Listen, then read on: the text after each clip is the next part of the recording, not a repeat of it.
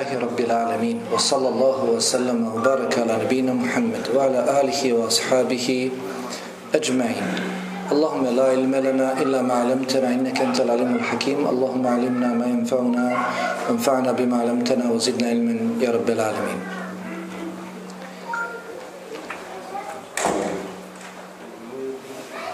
Kada se povećaju iskušenja, smutnje, neredi,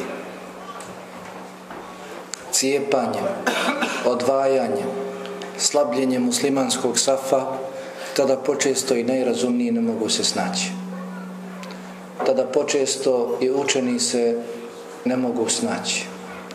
Naročito kada se zaboravljaju šerijetski tekstovi i zapostavljaju šerijetski tekstovi.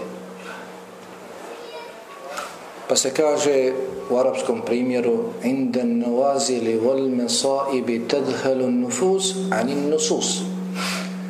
Kod iskušenja novo nastalih situacija koje nisu bile poznate ranije vrlo lahko duše zaboravljaju šerijetske tekstove. Dakle naročito u iskušenjima smutnjama, neredima. Sličnom vremenu u kojem živimo i obaveza sve jednog vjernika, sve jedne vjernice jeste da radi na popravljanju takvog stanja. Na popravljanju stanja među muslimanima. Na zbližavanju muslimana, na ujedinjenju muslimana, na okupljanju muslimana oko jedne riječi sa lijepim načinom, lijepim metodama. Trebaju se svi vjernici i vjernice klonuti svega onoga što produbljava jaz među muslimanima. Što još više slabi muslimanski saf. Udaljava muslimane jedne od drugih. Pa zasigurno, u svakom vremenu, a naročito u vremenima iskušenja i nereda, vjernike i vjernica moraju žuriti i prebjegavati Allahu subhanahu wa ta'ala sa dovom Dova ne smije izostati u takvim vremenima. Dakle, u našim vremenima. Dova ne smije izostati naročito, dakle, u vremenu u kojem živimo, u vremenu smutnji i nereda. Nama je dobro poznato da je Allahov poslanik, alihi salatu wasalam, kada bi odpočinjao noćni namaz, učio poznatu dovu.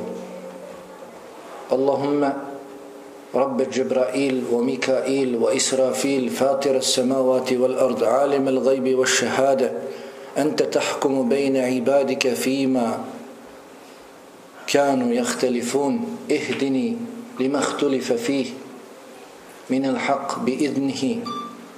دكريا دوا Allahu poslanik alaihi salatu oslam bi učio gospodaru moj, gospodaru Džibrila, Mikaila, Israfila, stvoritelju nebesa i zemlje, o ti koji poznaješ i tajni i javni svijet, uputi me na istinu u onome u čemu se drugi razilaze, u čemu se drugi razilaze, mene uputi na ispravnu, na istinu svojom voljom, jer doista niko drugi ne upućuje na istinu osim ti. Ti si onaj koji presuđuje među svojim robovima. Kada je to učio Allahov poslanik alaihi salatu wasalam, onda smo mi zasigurno preči mnogo, mnogo da učimo tu dovu. I slične dove. Da dovimo Allahu subhanahu wa ta'ala da nas uputi u ovim vremenima iskušenja na ispravno. U vremenima iskušenja, nereda, smutnji, sve jedan vjernik, sve jedna vjernica moraju se čuvati od hvalisanja, od uzdizanja, nad drugim vjernicima. Sve jedan od nas mora da bude skroman i ponizan. Da sa skromnošću i poniznošću traži ugled i veličinu kod Allaha subhanahu wa ta'ala, nikako drugačije. Allah subhanahu wa ta'ala prejasno je rekao فَلَا تُزَكُوا أَنفُسَكُمْ هُوَ أَعْلَمُ بِمَنِ اتَّقَى Nemojte se hvalisati. Nemojte sami hvalisati sebe. On dobro zna ko se njega istinski boji. Allah dželle vala zna ko se njega istinski boji. Nema potrebe ti govoriš bolji sam od tebe ili ja sam bolji od tebe. Ne, nema potrebe. Allah dobro zna. Nema potrebe da se uzdižemo jedni na drugima. Da omalovažavamo jedni druge. Da ni podaštavamo jedni druge u vremenu u kojem živimo. Pogotovo. Sve jedan nam je musliman dobro došao. I sve jednog muslimana treba čuvati. Sve jednog muslimana treba popravljati, nikako odbacivati. Nama je iz naših prethodnika, Selefu Saliha, njihovih biografija poznato kako su se obhodili i kako su savjetovali jedni druge i ovo možete vjerovatno čuti mnogo na mojim predavanjima zato što je bitno i često spominjem i to je njihov put kojim mi trebamo krenuti. Govorili bi kada sretneš stariju osobu od sebe na ulici, reci on je bolji musliman od mene. Zašto? Zato što živi duže, uradio je više dobrih dijela od mene. Kada sretneš mlađu osobu od sebe na ulici, reci on je bolji od mene. Zašto sad? Dobro stari, zašto mlađi? On manje živi od mene, učinio je manje grijeha nego ja. Nisu dali sebi pristupa da im šeta nikako priđe. Kada vidiš da te braća hizmete, da ti čine dobro, reci ovo je blagodat koju oni užu, uživaju i žele da je podijele sa svima drugima. A kada vidiš da se ljudi ustežu od tebe, da te izbjegavaju, onda reci izbjegavaju me zbog moga zla. Zlo koje se nalazi pri meni, zbog toga ljudi bježe od mene. Pa vam je dobro poznan slučaj Abdullaha ibn Mubareka, rahimahullahu tela, kada je Maksuz otišao da posjeti jednog pobožnjaka, pobožnog insana, došao pred kuću, zatražio dozvolu da uđe, dozvoljeno mu da uđe, ušao u sličan međlis. Sjedi on gore negdje u pročelju i sjede drugi njegovi ahbabi, iskupili se oko njega, on pobožnjak, nije učenjak, pa biva pitan i on odgovara. I to je musibet današnjeg vremena i svakog vremena kada govore o Allahove vjeri i odgovaraju oni koji nemaju znanja. Abdullah ibn Mubarak bio najučeniji u hadisu u svoje vrijeme emirul mu'mininu u hadisu, najveći, najvisočiju deređu u hadisu je imao Abdullah ibn Mubarak. Pa skromno ušao, sjeo tamo gdje je našao prazno mjesto, sjeo i malo sagledao situaciju, pratio situaciju. Niko na njega ne obraća pažnju i ne mora. Zadržao se koliko može da se zadrži, kod učenih ljudi nema vremena na pretak. I on je izašao. Jedan od prisutnih je dobro znao da je to bio Abdullah ibn Mubarak. Pa kaže domaćinu pobožnjaku i neznalice, kaže, znaš ti, bolan, ko ti je malo prije bio? Znaš ti ko je svojim prisustvom malo prije uvećao tvoj skup, upriličio tvoj skup, kaže, zar je bitno?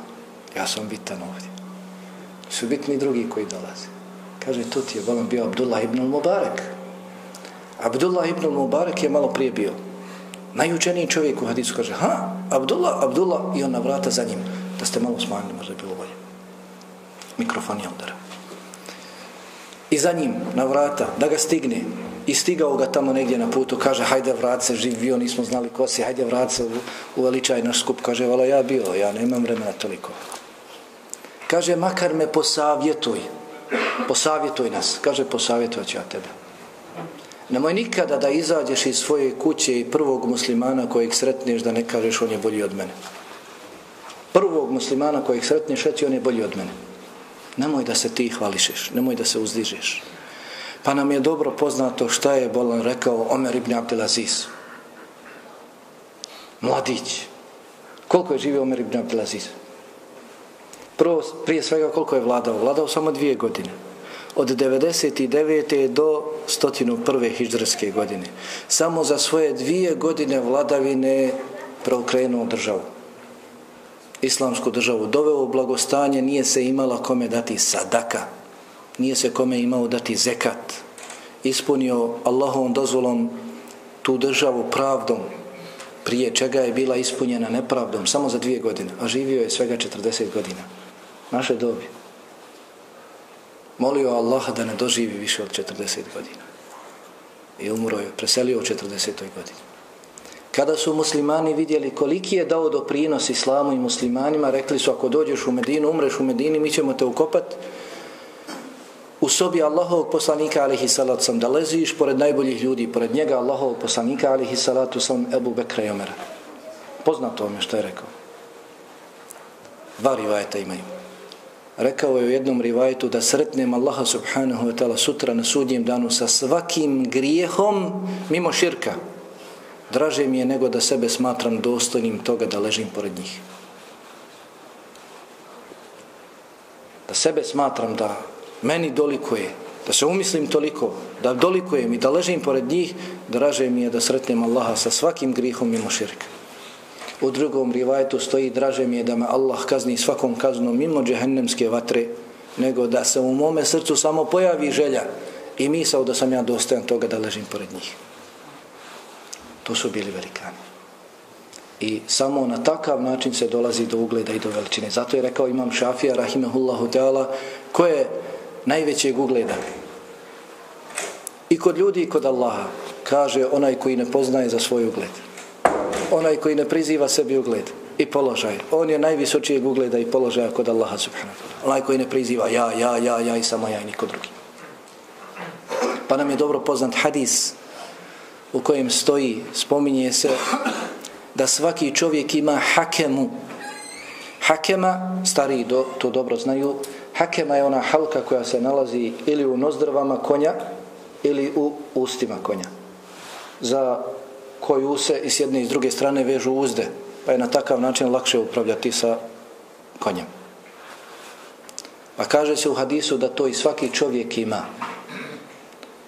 I za tu halku je vezan povodac čiji kraj se nalazi u ruci meleka. Pa kada neko od ljudi bude skroman i ponizan, spusti svoju glavu, bude skroman i ponizan, skromno i ponizno se ponašao na dunjalku, kaže Allah subhanahu wa ta'ala tom meleku podigni njegovu hakimu. Neka bude ugledan, neka bude vedra lica, neka bude visok među ljudima, ugledan. A kada neko poželi da se uzdigne, da se oholi, nad drugima, kaže Allah subhanahu wa ta'ala meleku, spusti njegovu hakimu. Neka bude ponižen. Neka bude ponižen. Dakle, pogotovo u ovim vremenima, a i u svim vremenima čovjek se ne smije uzdizati, ne smije se hvalisati. To nije bio put Allahovih poslanika, niti njihovih drugova, niti naših prethodnika, selefu saliha. Wa ibadur rahman, wa ibadur rahman illadine jemšuna ala l'ardi hauna, wa idha khatabahumun jahilune kalu selama. I robovi svemilosnog jesu oni koji smireno hode po zemlji. Ne nadmeno, ne hvalisavo, ne ohole se na drugim. Zatim, u vremenima smutnji, nereda, iskušenja, onaj koji nema znanja treba se ustegnuti od govora o Allahove vjeri. Onaj koji nema znanja neka ne govori o onome dakle o čemu ne posjeduje znanja. Pa je davno i rečeno kada bi ušutjeli oni koji nemaju znanja, nestalo bi razilaženja. Kada bi ušutjeli oni koji ne znaju, nestalo bi razilaženja. I nama je dobro poznato da postoje kuranski ajeti kojima se Allah subhanahu wa ta'ala obraća direktno poslaniku Muhammedu alaihi salatu sam i zabranjuje mu da se povodi za onim što ne zna zabranjuje mu da govori o onome o čemu ne zna. Pa kada je to njemu bilo naređeno, da ne govori osim onome o čemu posjeduje znanje, kako bi onda bilo zabranjeno ashabima, kako bi bilo zabranjeno tabinima da govore o onome o čemu ne znaju, kako je to onda zabranjeno nama. Da se mi upuštamo, da govorimo Allahove vjeri ono što ne poznajemo, ولو تقول علينا بعض الأقاويل لأخذنا منه باليمين ثم لقطعنا منه الوتين فما منكم من أحد عنه حاجزين Ove riječi su upućene poslaniku Muhammedu a.s. Da je on onama kakve laži iznosio. Muhammed a.s. Mi bismo ga ščepali desnicom i žilu kucavicu bi mu presjekli. Nikoga od vas ne bi mogao spasti toga. Da je iznosio laži o Allahu subhanahu wa ta'ala, da je govorio ono što nije od vjere.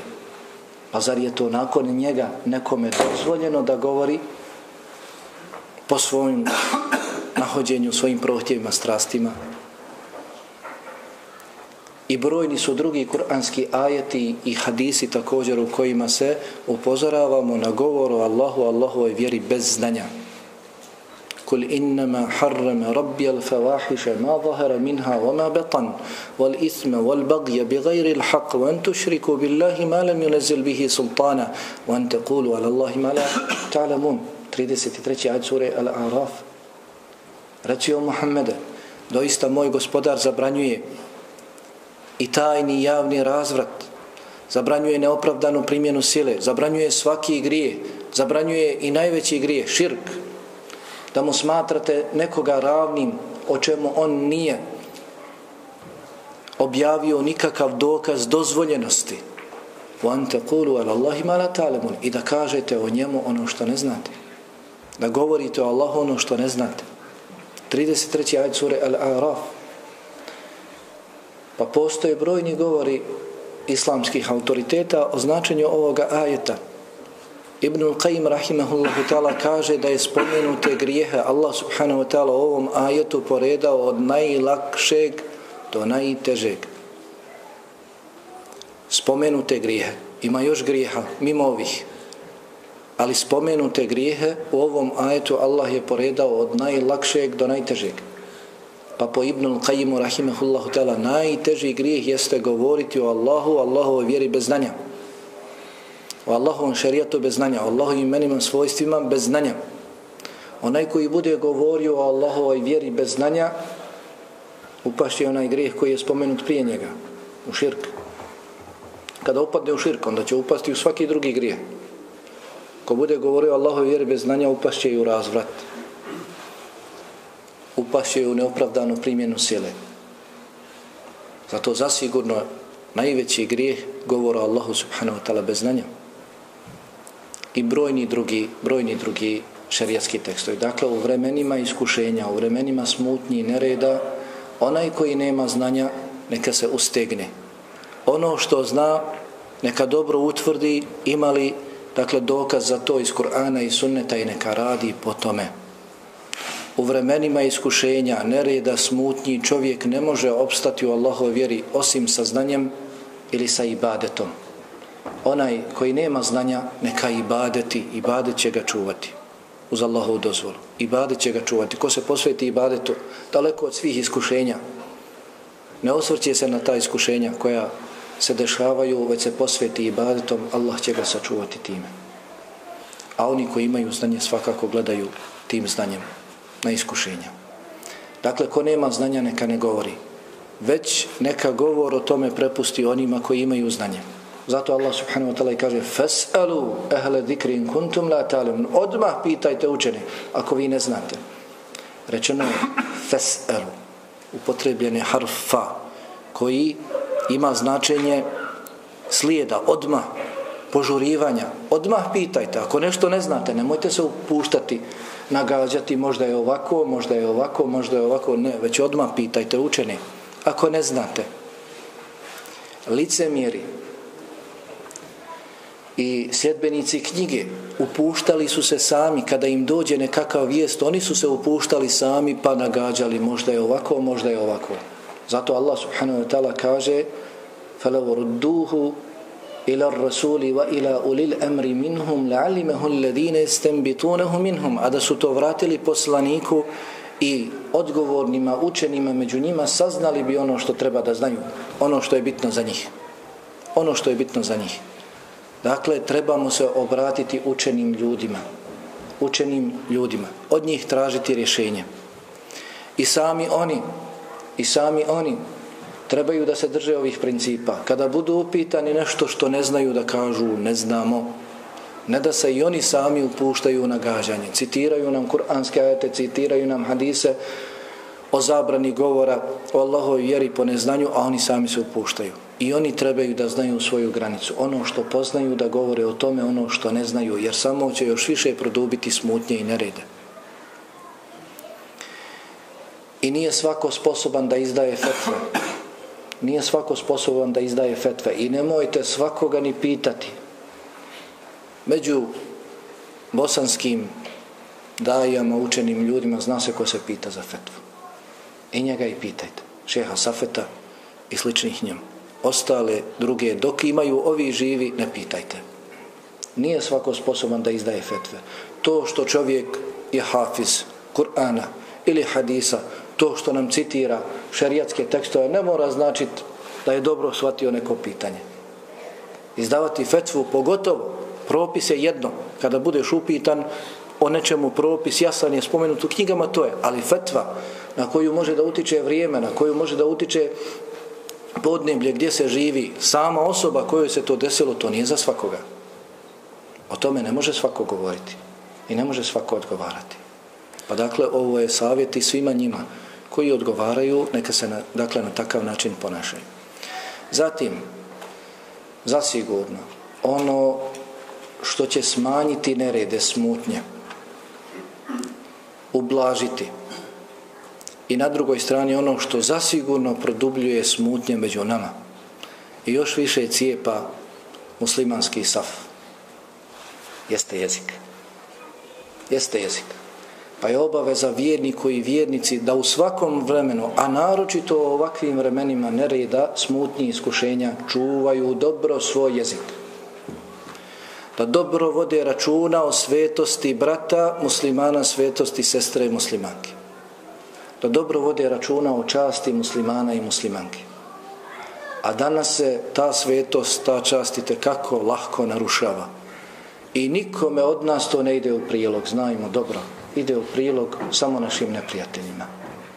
Na takav način se sigurno neće popraviti stanje, riješiti problemi, da govorimo jedni od drugima. Pa ono što je među muslimanima uvriježeno i nema popravka dok se to ne ostavi koliko je moguće gibet gibet kojim se narušava sigurno svetost muslimana a prije svega i volio bih da pokušamo da se okoristimo sa ovakvih druženja da ono što čujemo da sebi zacrtamo i kažemo od sada ću nastojati da ovo sprovedemo u praksu Nema fajde, braćo, nema koristi nikakve da slušamo i možda nam lijepo bude, naslađujemo se lijepim riječima, govorima, pa nešto novo i saznamo, ali u praksu nikad ne primjenimo. Nema koristi. To će biti dokaz samo protiv nas. Moramo tražiti znanje i moramo raditi po onome što naučimo. Nema nam drugog izlaza. Dobro nam je poznat hadis Abdurrahmana ibn Abi Bekreta od njegovog babe Abu Bekreta koji kaže da je vidio Allahovog poslanika alihi salatu wasalam na oprostom hađu kako sjedi na svojoj jahalici, na svojoj devi dok mu jedan od ashaba pridržava povodce deve pa Allahov poslanik alihi salatu sam sjedeći na svojoj jahalici pita iskupljene na oprosnom hađu a spominje se jeli da je bilo stotinu hiljada ashaba. Pa pita koji je danas dan? Pa ashabi šute iz edeba prema Allahom poslaniku alihi salatu sam, iz želje da nauče još nešto, misli su da će Allahov poslanik alihi salatu sam taj dan imenovati drugim imenom od poznatog pa da se okoriste još pa su šutjeli i šutjeli pa pita Allahov poslanik alihi salatu wasalam zar nije danas je mu nahr kurban bajram kažu svakako pa je upitao u kojem se mi to mjesecu nalazimo pa su opet ashabi šutjeli Pa je rekao, zar nije Zul Hidže? Pa su rekli, svakako. Pa kaže, u kojem se mi to mjestu nalazimo? Pa su šutjeli. Nakon čega je rekao, zar nije Mekka, sveta zemlja? Pa su rekli, svakako. Nakon toga rekao je opasne riječi. Koje se krše svakodnevno. Na svakom koraku. Rekao je, inna a'radakum wa amualakum إن أعراض إن دماءكم وأموالكم وأعراضكم حرام عليكم كحرمة يومكم هذا في شهركم هذا في بلدكم هذا doista je vaša krv, vaši životi i vaši imeci i vaša čast doista su sveti kao što je svet ovaj dan u ovom mjesecu na ovom svetom mjestu sveti, nepovredivi, zabranjeni da se jedu Pa vam je dobro poznato u hadisu Abdullaha ibn Umara radijallahu anhuma. Neki kažu da su to njegove riječi, dok šeha Albani rahimahullah tela kaže da je hadis, da su to riječi Allahov poslanika alihi salatu wasalam. Dakle, da je Allahov poslanika alihi salatu wasalam tavafio oko Kjabe, pa je zastao i rekao kako li si samo lijepa. Kako li je lijep tvoj miris. Kako li si samo velika i kako li je velika tvoja svetost, ali je svetost vjernika kod Allaha veća od tvoje svetosti. Ali je svetost vjernika veća kod Allaha od tvoje svetosti.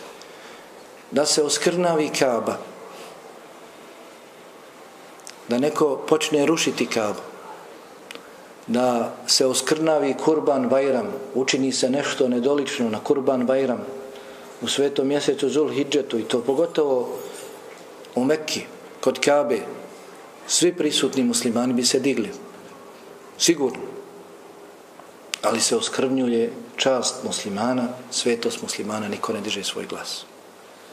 Naprotiv, brojne karavane muslimana se priključuju u skrnavljenju časti braće i sestara muslimana. Na način gibeta, ogovaranja, spominjanja onoga što dotični ne voli. A mi ne znamo šta voli ili šta ne voli, je li tako? Pa zato se ostavi svakog govora o svome bratu, muslimanu i sestri, osim dobrog govora. Govori o njemu lijepo. Hvali ga koliko mu doliko je nemoj govoriti niti o njemu, niti o njegovoj porodici, niti o njegovom imetku, što nije lijepo, što je zaočekivati da on ne voli. Znaj da je to veliki grijeh i te kako veliki grijeh. Ne može ga ništa pobrisati do iskrena teuba i traženje halala od dotičnog. Traženje halala od dotičnog brata kojeg smo spominjali. A nemojmo da idemo daleko. I sva ova predavanja koja su bila danas i ovo večeras je nama Kada je bilo govora o ehli sunnetu al džematu, to je govor nama, da budemo takvi, da se odlikujemo time. Kada je bio govor o novotarijama, bio je govor prije svega da mi ne upadnemo u to. I složit se da su naša sjela također ispunjena gibetom. Mnoga od naših sjela, da nije gibeta, da nije nemimeta, da nije govora o drugim muslimanima, ne bi ih uopće ni bilo. Ne bi ni bilo takvih sjela ili ne bi tako dugo trajala. Za pet minuta obavimo ono poslovno među nama, zatim pređemo na braću muslimane i sestre muslimanke. Znajmo dobro da svoja dijela dajemo njima i blagoli se njima. Kada ih drugi muslimani ogovaraju, svoja dobra dijela dajemo njima.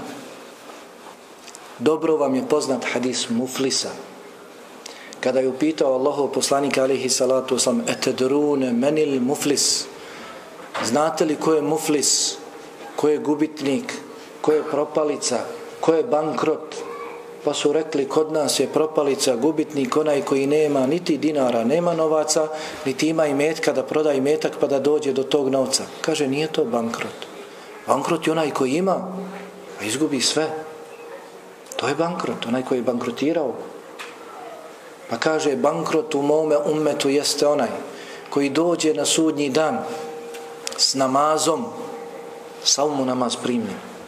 S postom, salmu post primljen. Sa zekatom, zekat sve jedne godine mu primljen. Svih pet namaza i drugi dobrovoljni namazi sve mu primljeno. Nema manjkavosti u obaveznim namazima i dobrovoljni namazi primljeni postio svake godine mjesec Ramazan, nakon mjeseca Ramazana šest dana šavala, kao da je cijelu godinu postio tako jedna, druga, treća, peta, deseta, sve postio. Ko ne bi volio da dođe na sudnji dan i da mu je to sve primljeno, sve jedan od nas. Ali kaže, potvorio je ovoga, ogovorio je ovoga, ovo me je ukaljao čast, ovo me je prosuo krv, ovoga je ozlijedio, ovoga je ubio, a nije tražio halala na dunjalku. Nije, zato što je teško pogledati bratu u oči. I reći, ja sam sinoć govorio nedoličan govor o tebi. Složit ćemo se da je teško, ali tako? Teško se pogledati u ogledalo kad nisi kako treba, nisi horan. Da pogledaš sebe u ogledalo, kamo li da pogledaš svoga brata o kojem si ružno govorio. Ali bolje je, jer sutra ćeš zasigurno davati svoja djelanja. Pa kaže Allahov poslanik alejhi salatu selam, pa će se davati od njegovog namaza posta zekata njima. Nije izmirio nepravdu na dunjalku, pa će otići sav namaz. Pa će otići sav post. Pa će otići sav zekat, a nije još izmirio nepravdu koju je činio na dunjalku. Zatim će se od njih uzimati loša dijela i davati njemu. Pa tovariti i tovariti i tovariti sve dok ga ne strovale njihova loša djela u džehennem. E to je istinski gubitnik, istinska propalica, bankrot. A to je ono što mi svojim sjelima, skupovima svakodnevno prizivamo. Kada govorimo o drugima. Zato ne vrijedi nam ništa što ćemo gomilati informacije, učiti kuranske ajte, hadise, ako nećemo raditi po njima. I ovo nam je sve dobro poznato, je tako? Ali su naša sjela ipak ispunjena gibetom. Dobro nam je poznat hadis da je Allah poslanik alihi salatu sam rekao lemma uriđe bi kada sam bio uzdignut na mi'rađ marartu bi unas lahum adfar min nuhas prošao sam pored ljudi koji su imali bakrene nokte jahmišune uđuhehum osudurahum njima tim bakrenim noktima su trgali svoja lica i svoje grudi kada strgaju dok dođu do kraja vrati se ponovo i opet trgaju i opet ponovo i opet trgaju dok ne nastupi sudnji dan. Prošao je pored takvih ljudi i prolazio je pored mnogih drugih. Pa je zaustavio Džibrila i pitao, men haula ja Džibril, ko su ovi ljudi? Šta su radili? Kada je ovako njihovo stanje, do kijameta će biti. Kaže, ulajke alledine jakulune luhumen nas o jakaune fi a'radihim.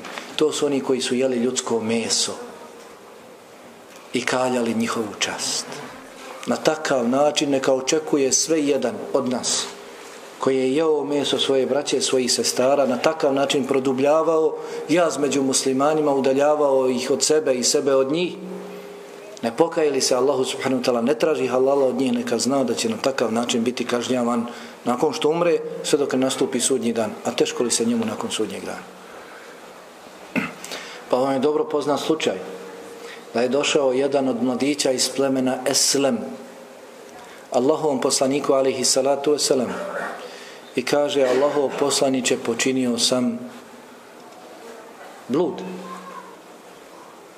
Allahov poslanik alaihi sallam sam se okrenu. Pa mu dođe s te strane. Kaže Allahov poslaniće počinio sam blud. Pa se okrene na, na treću stranu. Allahov poslaniće počinio sam blud. Okreni se na četvrtu stranu. Sa svi četiri strane dođe i kaže počinio sam blud. Kada je rekao peti put Allahov poslaniće počinio sam blud kaže mladiću znaš ti šta je blud? Znaš li ti šta, sa, šta si učinio? Kaže znam ja sam ono što suprug sa svojom suprugom na halal način čini ja sam učinio sa ženom strankinjom na haram način Pa ga pitao poslanik Alehi sam za detalje, u detalje pojasnio. Kaže, mladiću, znaš ti šta te sleduje? Kaže, znam, zbog toga sam i došao. Pa, kada je činjeno što je činjeno, nad tim mladićem, koji su bili iskupljeni, dvojica dole u prikrajku, su se sašaptavala. Allahov poslanik Alihi sam čuo. Pa jedan od njih kaže drugom pogledaj ga. Allah je prikrio njegov grijeh. Niko nije znao da je počinio taj grijeh. A on je došao i obznanio svoj grijeh. I pogledaj ga sada umire kao što umire pas. Poslanika Alihi Salucom čuo. Pogodilo ga. Teško. Taj došao da se pokaje. Peče ga grije ne može da živi s tim grijehom. I tako govore za njega. Kada je završeno, vraćaju se kući, prolazi Allahov poslanik alihi salucom na svojoj jahalici pored strvine, pored krepalog magarca. Magarac koji je krepao i počeo se raspadati. Koža propala dole, gore rebra izletila. Muhe se ufatile. Smrad za udara. I zaustavio je halicu. Kaže, ejne fulan va fulan, gdje je taj taj? Zna ih. Pa kažu, ha nahnu ja Rasulallah, evo nas, Allahu poslanit. Kaže, inzila fe kula min hadihi il Silazite sa svojih jahalica, jedite ovu strvinu. Allahu poslaniće, zar se to smije jesti? Zar se to može jesti? Strvina, opće poznato strv, taj zabrajno, raspada se, neugodno, zaudara. Kaže, ono u čemu ste bili malo prije kada ste jeli meso svoga brata je ogavnije od ovoga. Da jedete ovo. Allah dželle vala prije toga je rekao: "Wala yaghtab ba'dukum ba'da ay yuhibbu ahadukum an ya'kula lahma akhihi mayta fakarihtumuh." I nemojte ogovarati jedni druge Zar bi nekome od vas bilo drago da jede meso svoga umrlog brata? Pa odmah Allah kaže, ne čeka, fekerih tomu, to je vama odvratno, odvratno. To se postavi pred tebe mejti da ga jedeš, odvratno. E isto tako kao što ti je odvratno, neka ti bude odvratno ispominjanje brata ili sestre muslimanke po onome što oni ne vole.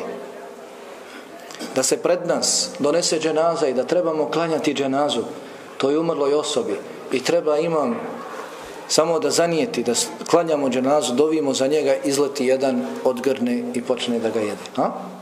Ogavno. I za ne bi sve jedan od nas požurio da ga spriječi u tome. Svakako. Ali kad se brat musliman ili sestra muslimanka spominju pred nama, naslađujemo se i mi s njim. Niko ne prekida tog muslimana. Kaže, boj se Allah, ostavi govor o tome. To nije dozvoljno. Allah je to strogo zabranio. Zato se dobro čuvajmo da ne rede smutnje, podijeljenost muslimana ne produbljujemo još i ovim. Također nemimet, nemimetom narušavamo islamsko jedinstvo, prenošenje riječi od jednog do drugog s ciljem da se pogoršaju odnosi među njima. Ili, kao što kažu drugi islamski učenjaci, da je nemimet samo razotkrivanje. Ono što muslimani skrivaju, što ne žele da se priča o tome. Skrili su, nisu htjeli. Da je bilo koristi, rekli bi, upoznali bi javnost. Upoznali bi druge muslimane, muslimanke. Ali nije, vidjeli su, procijenili su da nije bilo koristi. Pa nisu o tome ni govorili. Eh, ti se našao da ti razotkrivaš, da prenosiš, čuvaj se dobro, dobro toga. I Allah subhanahu wa ta'ala također, kao i Gibet, strogo je osudio u svojoj, u svojoj plemenitoj knjizi. Kada je Jalla wa'ala rekao وَلَا تُتِعْ كُلَّ حَلَّافٍ مَهِينٍ هَمَّازٍ مَشَّاءٍ بِنَمِيمٍ I ne slušaj ni jednog krivog kletnika, prezrenog, klevetnika, podrugljivca, onoga koji tuđe reči, tuđe, tuđe riječi prenosi, koji ide sa tim nemimetom, prenosi tuđe riječi od jednog do drugog. I dobro nam je poznat hadis Ibn Abbas radijallahu anhuma, kada je Allahov poslanik alaihi salatu sam prošao pored dva kabura, pa je zastao i rekao innahuma la yu'adzaban zasigurno njih dvojica stanovnika ova dva kabura se kažnjavaju. Oma yu'adzaban fi kabir ili min kabir ne kažnjavaju se zbog nečega velikog. Mogli su lahko da se toga kotarišu da se ostave tog dijela a doista je to veliko. Toliko je veliko da se kažnjavaju zbog toga u kaburima. Pa je rekao što se tiče jednog od njih nije se čistio nakon mokracije nije se čistio nakon male nužde, obaveza muslimanima je da vode računa o svojoj čistoći.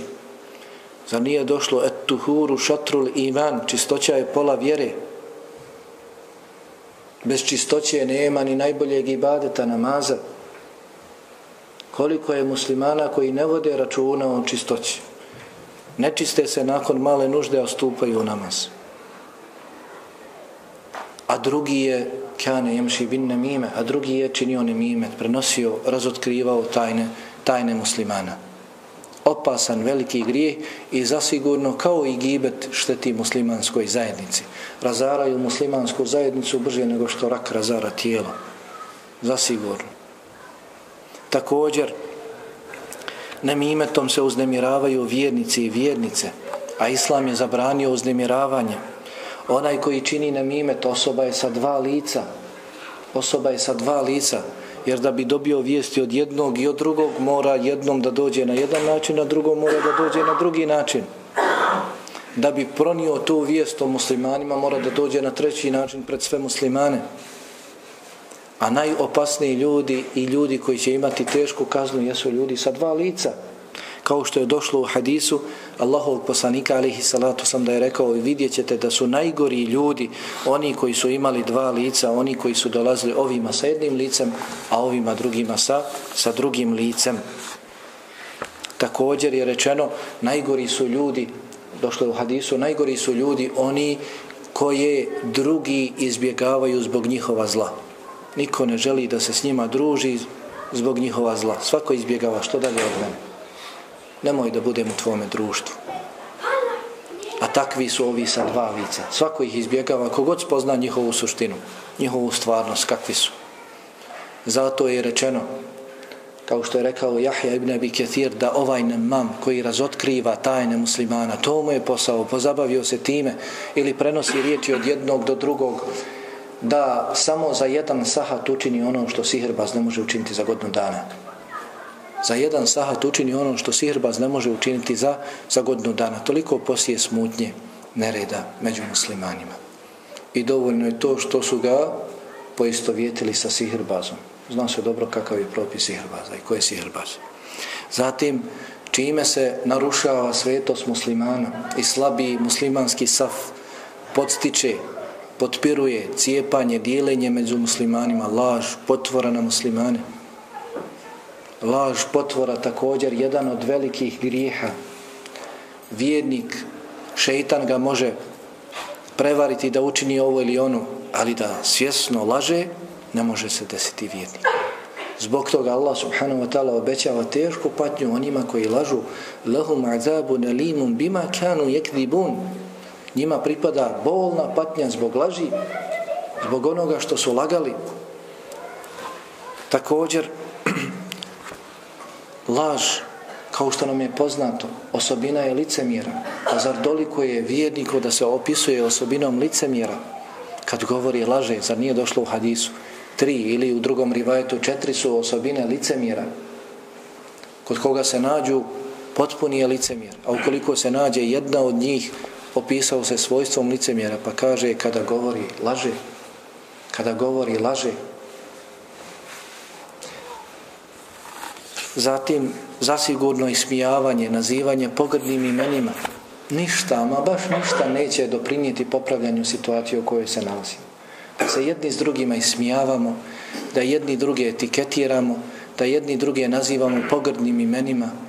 Čitajte suru El Huđurat, sura Ahlaka, sura Adaba. Upravo dakle ovim problemima malte ne govori cijela sura. Pa u 11. ajetu Allah subhanahu wa ta'ala govori o našoj svakodnevnici Ja juha ladina amenu La jeshar qavmun min qavm Asa an yakunu khayran minhum O vjernici, neka se jedan narod ne ruga, ne izruguje sa drugim narodom, možda su oni bolji. Wala nisa'un min nisa'in asa an yakunna khayran minhun. I jedne žene neka se ne ismijavaju sa drugim ženama, jer su možda one bolje od njih. وَلَا تَلْمِزُوا anfusakum وَلَا تَنَابَزُوا bil alqab. I nemojte kuditi jedni druge, nemojte žu, dozivati jedni druge ružnim, pogrdnim nadimcima, podrugljivim nadimcima. A to je tako prisutno među muslimanima. Pa ove ili one etiketiraju raznim imenima. Popularno, selefije, vahabije. Iako sami oni ne znaju zbog čega se jeli, na takav način etiketiraju ovi ili oni. Zbog čega etiketiraju? Niko od muslimana da ih pitate i krenete koji su glasnogovornici pozivaju na linčovanje vahabija i stjeravanje iz džamija vahabija niko od njih ne zna ko su vahabije. Pa i mi brojni od nas ne zna. Ali tako? Bilo je govora na drugim mjestima pojašnjavao sam da su postojale vahabije. Postojali su ljudi koji su za sebe govorili da su vahabije mi ne kažemo Bože sačuvaj da smo takvi bili su u drugom stoljeću, u drugom hijđretskom stoljeću, pred kraj hijđretskog, drugog hijđretskog stoljeća su postojali. Govorili za sebe, jasno i glasno da su vahabije. A bili su najortodoksnija skupina havariđa, koji su ubijali muslimane, ostavljali nemuslimane. Nisu ih interesovali. Što god govorili, što god radili, nisu bili im bitni. Bitni su im bili muslimani.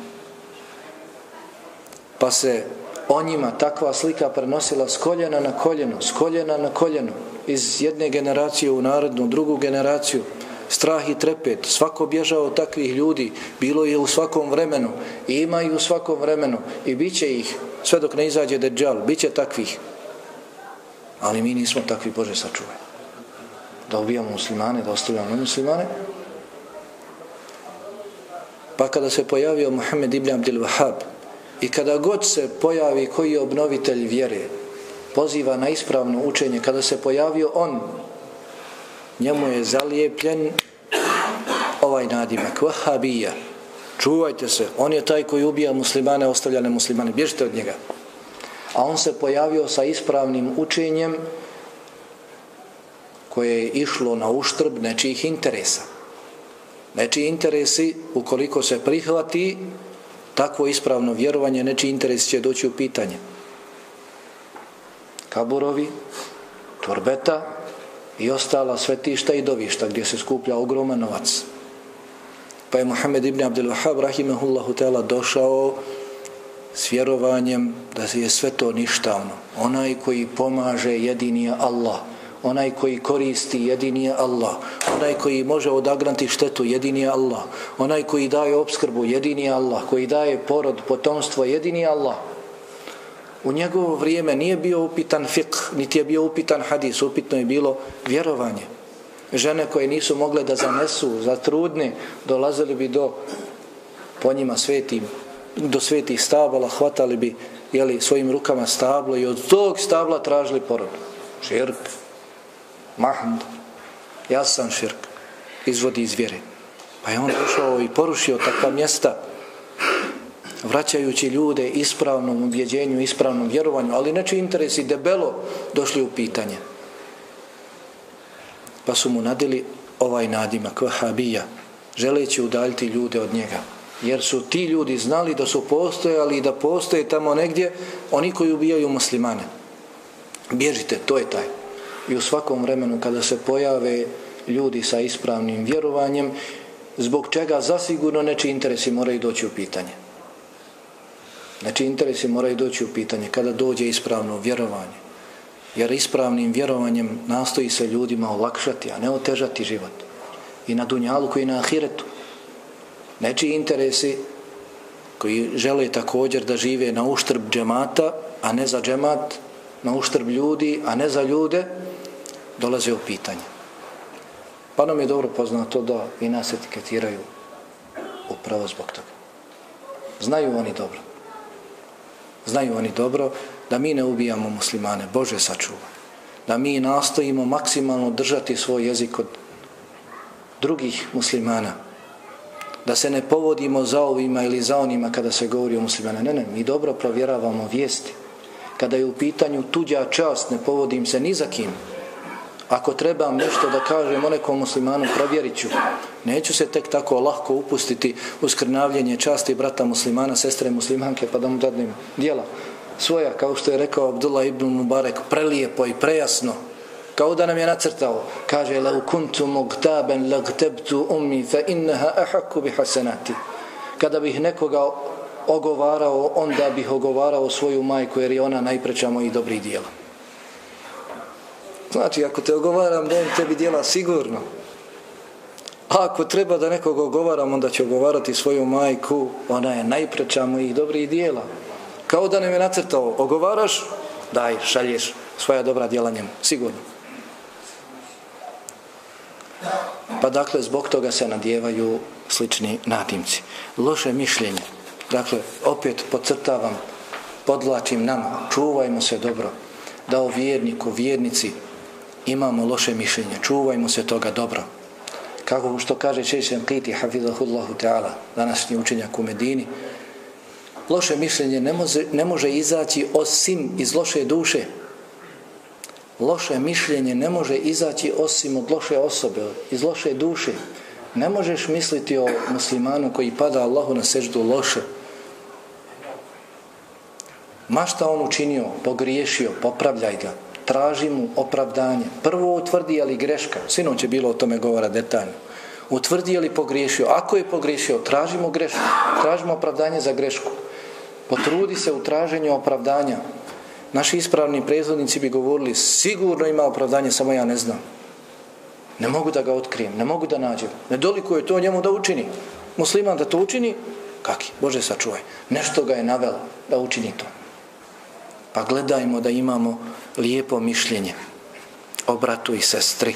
Ne smijemo se povoditi ni za kim, kao što rekao. Ni za čijim riječima kada je u pitanju nečija čast. Povedimo se za riječima Allaha Jalla wa'ala. Allah subhanahu wa ta'ala dao je opet i svoje mudrosti da se mi učimo na tim primjerima. Kada se nama slično desi i kada nam se bude govorilo da odma zaustavimo taj govor. Pa nam je dobro poznato da se desio događaj o našoj majci, majci vjernika, Ajše radijallahu talanha, potvora, kada su mnogi požurili od licemjera, munafika, da loše mišljenje plasiraju, protore, i pojedini vjernici se priključili tome. Pa Allah subhanahu wa ta'ala kaže laula إذ سمعتموه dhanna المؤمنون والمؤمنات بأنفسهم خيرا وقالوا هذا khayra مبين. Hadha mubin zašto? Čim ste to čuli? Čim čuješ dođe ti vijest o nekom muslimanu takav i takav zašto vjernici i vjernice ne pomisle jedni o drugima dobro i kažu ovo je očita potvora? Ovim se potvara musliman muslimanka. تلقونه بألسنتكم وتقولون بأفواهكم ما ليس لكم به علم kada ste to jezicima svojim stali prepričavati priključili se karavani mnogi govore pa ajde šta fali da ja pričam kaže Allah subhanahu wa ta'ala wa tahsabunahu hayyina mislite da je to malo wa huwa inda Allahi azim ali je to kod Allaha subhanahu wa ta'ala i kako krupno i kako krupno ولولا إذ سمعتموه قلتم ما يكون لنا أن نتكلم بهذا سبحانك هذا بختان عظيم Kada ste to čuli, zašto niste rekli nedoliko je nama da mi o tome govorimo? Slavlje neka si ti. Nedoliko je nama da se mi u to upuštamo. Doista je ovo očita potvora, jasna potvora. Tako kada čujemo da se nešto govori o muslimanu i muslimanki, stanimo, zaustavimo, ne priključujemo se karavani čuvajmo dobro se toga jer time se zasigurno produbljuje jaz među nama. Zasigurno, Slabije se odnosi među nama, potkopava međusobno povjerenje, međusobna ljubav, u srcima učvršćuje mržnja. A kada se budemo mrzili, onda ćemo se izbjegavati, a kada se budemo izbjegavali, onda ćemo se udaljiti, a kada se udaljimo, onda ćemo imati loša mišljenja i onda ćemo se sukobiti. I to je ono što žele oni oko nas. Zato nije mali broj kuranskih ajeta, niti hadisa koji su došli upravo o ovome. Šta zbližava muslimane i šta udaljava muslimane? Zato što je to najbitnije. Jedna od najbitnijih obaveza koju trebaju muslimani ostvariti u svom životu da žive u zajednici. Dakle, zasigurno jedna od najbitnijih smjernica jeste u vremenima smutnje i nereda da čuvamo svoj jezik. Da čuvamo svoj jezik, da svojim jezikom ne produbljujemo te smutnje, te nerede, to stanje među muslimanima. A dobro nam je poznato i na drugoj strani da je Allahov poslanik alihi salatu wasalam obećao, zagarantovao džennet onome koji mu bude garantovao da će čuvati ono što je između njegove dvije vilice i ono što je između njegove dvije noge. Pa kaže, ko mi bude garantovao da će čuvati ono što je između njegove dvije vilice i ono što je između njegove dvije noge, ja mu garantujem džennet. Nije mala stvar. Sve jedan od nas želi džennet, da uđe u džennet. Ali nije to tek tako, lako. Evo ga. Pa dobro čuvaj svoj jezik. Dobro čuvaj svoj jezik. Od svakog lošeg govora. Govora o Allahoj vjeri bez znanja i govora o svojoj braći muslimanima i muslimankama jeli sestrama muslimankama također. Zato sve jedan od nas, punoljetni musliman, punoljetna muslimanka neka dobro vodi računa o svome jeziku, neka ga ne koristi osim onome što je dobro. Ukoliko ne bude siguran, ne bude sigurna, je li bolje govoriti, ili se ustegnuti od govora, je li veća korist da govorim ili da šutim, neka ostavi govor. Neka ostavi govor, jer je došlo prejasno i preopasno ko vjeruje Allaha i sudnji dan, neka govori samo dobro ili neka šuti Nije ostavljena treća situacija. Treća opcija. Ko vjeruje u Allaha i sudnji dan, فَلْيَقُلَ خَيْرًا أَوْلِ أَسْمَتْ Neka govori samo dobro i neka šuti. Od sunneta je da ukoliko ne znamo je li korist govoriti ili se ustegnuti od govora, ili je korist podjednaka da se ostavi govor, jer počesto dozvoljeni govor dovede do zabranjenog, do zabranjenog govora vodimo računa o svome jeziku, čuvajmo svoj jezik, pa će Allahovom dozvolom biti sačuvani i ostali naši organi od zla. Čuvajmo svoj jezik od zla, pa će od zla biti sačuvani i ostali, ostali naši organi. Kao što je došlo u hadisu Allahovog poslanika, alihi salatu sam, da svako jutro, kada čovjek osvani, svi njegovi organi obraćaju se njegovom jeziku i kažu mu, boj se Allaha, doista smo mi s tobom, doista smo mi uz tebe. Pa ukoliko ti budeš na ispravnom, mi ćemo biti na ispravnom. A ako ti skreneš, i mi ćemo skrenuti. Zato onaj koji bude čuvao svoj jezik, inša Allahu ta'ala, nadati se da će biti, biti sačuvani jeli, i ostali i ostali njegovi organi da će se na takav način spasiti. Kao što je rekao Allah, poslanik alihi sallam, ko bude šutio, spasit će se. Men samete neđa. Ko bude šutio, spasit će se. I nemojmo nikada zaboravljati da bilo koja riječ koju izgovorimo ne odlazi tek tako. Ne odlazi neopaženo. Zasigurno se bilježi sve jedna. Ma jelfidhu min qavlin illa ladayhi raqibun atid. I čovjek ama baš ne izgovori ni jednu riječ a da nad njim nije onaj koji bdije i onaj koji bilježi. Ni jedna riječ pa vam je dobro poznato da je Aisha radijallahu talanha rekla Allahom poslaniku alihi salatu uslam šta će ti Safija kada je takva i takva Šta će ti Safija kada je takva i takva svojom rukom pokazala na Safiji niza krast? Šta je rekla, šta mi govorimo? Šta je ona rekla? I kako je opisala? Šta mi govorimo i po čemu spominjemo sve muslimane i muslimanke? Pa šta je rekao Allah u poslanika alihi nasmijalost? Ajde, nije bitno. Eka si. Već je rekao, لَقَدْ كُلْتِ كَلِمَةً لَوْ مُزِجَتْ بِمَا الْبَحْرِ لَمَزَجَتُهُ Rekla si samo jednu riječ, koja kada bi se pomiješala sa svom morskom vodom, subu je zamutila. Rekla si samo jednu riječ, kap, koja kada bi se spustila u morsku vodu, subu je zamutila. Doslovan prijevod, digla bi sav mulj sa dna. Sav mulj bi digla sa dna i pomiješala bi morsku vodu. Samo to što je pokazala svojom rukom na nizak sa fin rast. A šta mi kažemo? jeli, o svojoj braći muslimanima i muslimankama. Dakle, ni jedna riječ zasigurno ne odlazi tek tako. Ne odlazi neopaženo, već dakle, pored nas su meleki koji pis, e, pisari, jeli, koji pišu. Wa inna alikum lahafizin kiramin katibin. Doista, doista su nad vama čuvari, plemeniti, plemeniti pisari. Zato, dakle, dobro vodimo računa o svome jeziku, gledajmo da sačuvamo islam s te strane od naših jezika, da ne produbljujemo probleme, jeli smutnje, nerede među muslimanima sa svojim jezikom. Dakle, vodimo računa o dovi, dovimo Allahu subhanahu wa ta'ala, ne izdižimo sebe, već izdižimo hak, izdižimo Allahovu knjigu i sunnet Allahovog poslanika, alihi salatu wasalam, to promovišemo, a sebe ne. Bitno je da se ljudi upoznaju sa istinom, sa Kur'anom i sunnetom. Preko koga ona došla, to nije bitno da se ljudi upoznaju s propisima iz Allahove knjige i sunneta Allahovog poslanika alaihi wasalam, to je bitno. Preko koga od nas nije bitno? Nemojmo izdisati sebe. Kada bismo se vratili na prve generacije i pogledali koliki su bili njihovi kružaci halke, možda se neko obmani, ima na halki 50, stotinu ljudi, stotinu 50, 200 ljudi, a jako, niko ko ja. A ta Ibn Abi Rabbah kada bi došao peti, bilo bi četvrca kad, kod njega na skupu, kada bi došao peti, skočio bi, pobjegao. A ta Ibn Abi Rabbah, da se ne umisli. Četverica, kada bi došao peti, on bi skočio, otišao. Pa nam je poznato iz života šeha Ibn Sejmina, rahimehullahu ta'ala, da je znao biti samo jedan učenik na njegovoj halki. Pa se znalo desiti da ne dođe ni taj jedan učenik. Došao prije šeha, i vidi nema nikoga, kaže idem ja da se abdestim, promijenim abdest, možda umeđu vremenu neko dođe. I ostavio knjigu i ostavio kapu. I došao šeh, kaže, niti učenika, vidi, kaže, samo knjiga i kapa. Nema nikoga. Zato ne izdižimo sebe, ne forsirajmo sebe, već izdižimo hak, izdižimo Allahovu knjigu i sunet Allahovog poslanika alihi sallam. Nećemo zasigurno ih izdizati ako budemo mi pričali o Kur'anu i sunnetu ono što ne znamo.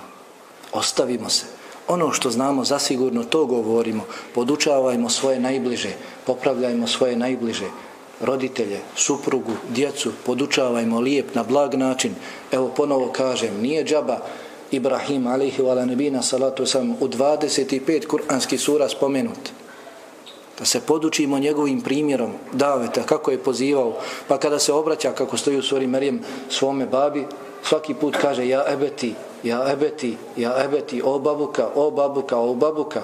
A kako Azar, njegov babo, se obraća? Ja Ibrahim. Ne kaže o sinko, o sine. Već kaže Ibrahima. Iako je bio nevjetnik, iako je bio mušrik, iako je on pravio kipove, obožavao kipove, pravio kipove, zabludu širio među drugima. A opet Ibrahim kaže, ja ebeti, ja ebeti. Pa naši koji padaju Allahu na seždu, da ih podučavamo lijepo na lijep, blag način prečisu. Pa podučavajmo svoje ono što zasigurno znamo, ono što smo ubijeđeni. Ovaj komentar, komentar 33. ajta sure Al-Araf, gdje su spomenuti grijesi. I na kraju, وَاَنْ تَقُولُ عَلَى اللَّهِ مَا لَا تَعْلَمُنِ Da o Allahu ne govorite ono što ne znate, kaže Ibnul Dževzi u svome komentaru Zadul, Zadul Mesir, u svome komentaru kaže i ne govori osim ono što si 100% ubijeđen. Ne govori o Allahu osim ono što si 100% ubijeđen. Pa podučavajmo svoje ono što smo ubijeđeni, ono što nismo, što ne znamo, vratimo učenjima. Pitajmo učene. Podučimo se kod njih. Oni koji slijede kitab i sunnet, od njih učimo. Za koji su pouzdani, koji su potvrđeni da slijede i govore Kur'anom i sunnetom i razumijevaju Kur'an i sunnet kako su razumijevale prve generacije. I dobro čuvajmo svoj jezik. Dobro čuvajmo svoj jezik. To je bilo ono što sam htio na kraju da poručim prije svega sebi, onda, onda i vama. Zasigurno uz Allahovu dozvolu budemo li se čuvali, ali naročito dakle ovoga zadnjeg držali, ako Bog da popravljat se stanje u našem džematu, zatim i na većem, visočijem jeli, nivou. Allaha subhanahu wa ta'ala molim da kao što nas je ovih dana sastavio na ovom mjestu, inša Allahu ta'ala nadam se radi njega uzvišenog, radi njega jednog jedinog, molim ga subhanahu wa ta'ala da nas isto tako sutra u džennetu sve sakupi pod njegovim zadovoljstvom nas i naše roditelje, majke i očeve i naše porodice, naše djecu, našu djecu, i sve ostale muslimane i muslimanke. A on je kadar da to učini. Ako sam nešto pogriješio tokom ovih izlaganja, to je od mene i šeitana, a ako sam pogodio, ispravno rekao, to je zasigurno od Allaha dželevala ni od koga, ni od koga drugog. Ja tražim halala ako sam odužio ponekada, ako sam nekoga pojedinom riječu jeli, pogodio, rekao nešto što ne dolikuje, a ja sve ono što se dešavalo halalim i molim također Allah subhanahu wa ta'ala da organizatore i sve one koji su učestvovali u organizovanju ovog skupa i koji dakle učestvuju u organizovanju sličnih skupova da ih nagradi najboljom nagradom da im podari selape nagradu svih nas koji smo došli i slušali jeli, učili vjeru, oni su bili sebe, oni su bili razlog da se skupijemo na ovom mjestu, da ga molim subhanahu wa ta'ala da im podari nagradu svih nas, a da nama također ništa od naših nagrada ne uskrati. سبحانك اللهم وبحمدك أشهد أن لا إله إلا أنت سبحانك إني كنت من الظالمين.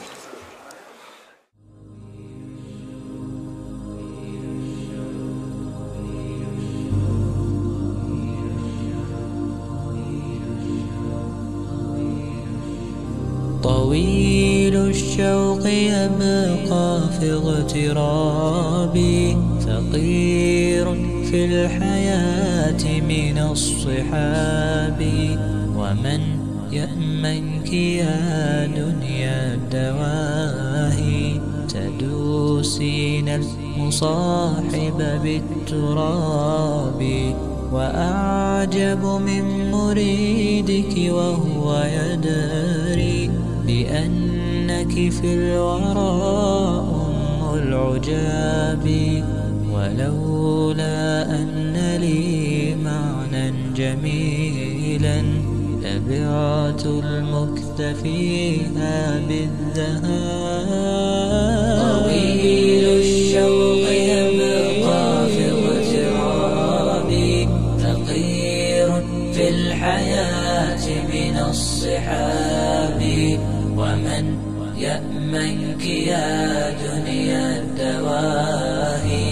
تدوسين المصاحب بالتراب. وأعجب من مريدك وهو يدري بأن بأنك في الورى أم العجاب ولولا أن لي معنى جميلا لبعت المكث فيها بالذهاب رأيت الله في ذا الكون ربا جميع الكائنات له تحابي. شواهد. أنه فرد جليل.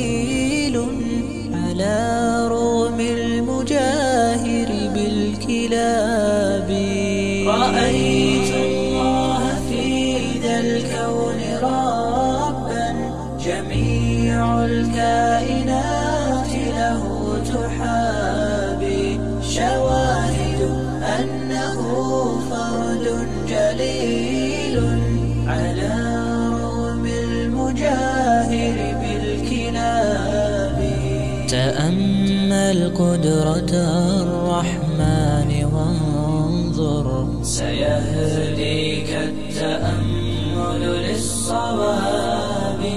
ومد الطرف في كل النواحي. سؤالك سوف يرجع بالجواب. طويل الشوق